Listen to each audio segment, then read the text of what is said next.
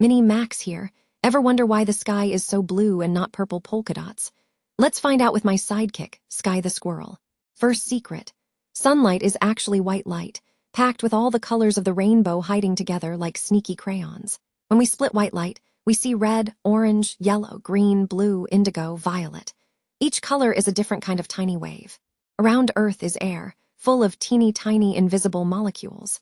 But these little guys love to play with light. Blue waves are tiny and wiggly, so air molecules scatter them everywhere, like a blue paint party in the sky.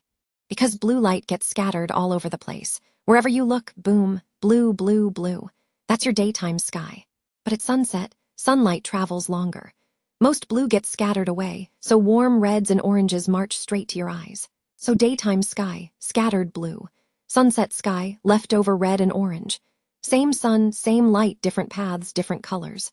If air scattered different colors more, our sky could look purple, green, or super weird.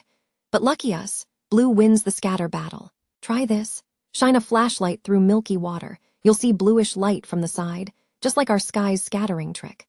Mission solved. The sky is blue because air scatters blue sunlight most. Science high five, junior geniuses. Got another mystery for us? Comment it. And tap subscribe so Mini Max and Skye can turn your questions into cartoons.